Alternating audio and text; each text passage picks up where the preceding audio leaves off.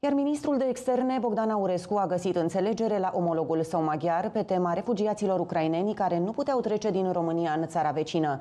Astfel, refugiații care fug din calea războiului ucrainean pot să ajungă acum în Ungaria fără viză sau pașaport biometric.